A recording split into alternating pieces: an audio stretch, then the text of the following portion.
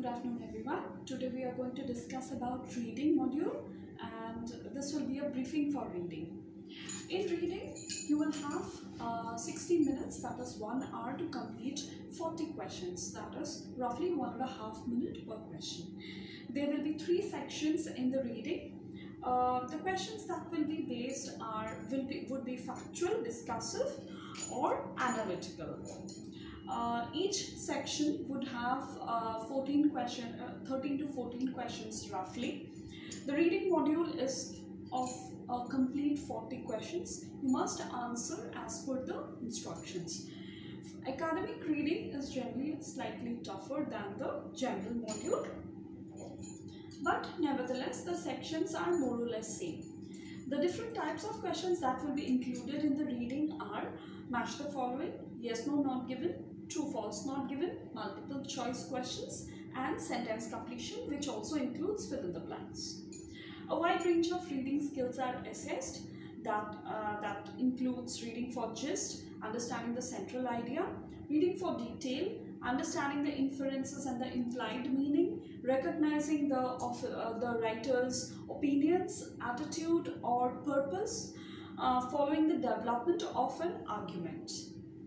Um, please do read a lot of newspapers to understand and, and read intensively to get the central idea or meaning of the difficult words. Please learn to read quickly.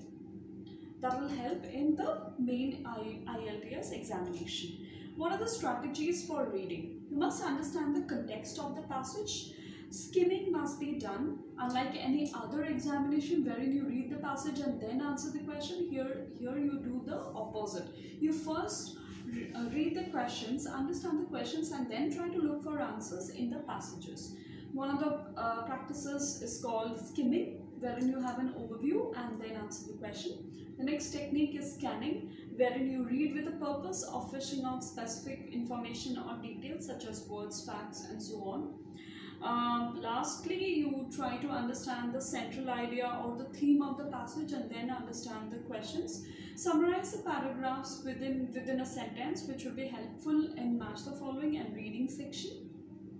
Understand the argument of the writer, what he or she is trying to trying to speak and then uh, try to put forward the correct answer don't waste too much time reading each and every word because it will not be sufficient in the one hour time that you have.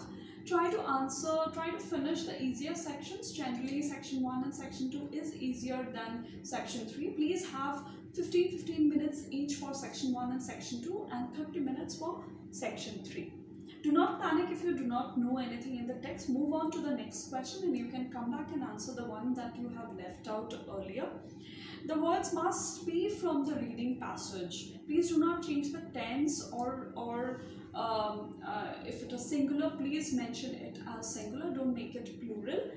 Be uh, careful uh, to use them correctly, the singular and plural uh, practices. Focus precisely on what completion is, is asked for and what you have to note. Please pay attention to the word limit. For example, if you if you are asked to complete a sentence using no more than two words, if the correct answer is silk shirt, don't answer shirt made of silk. Okay, it must be in two words. That means it must be silk shirt. That is all for reading. Thank you.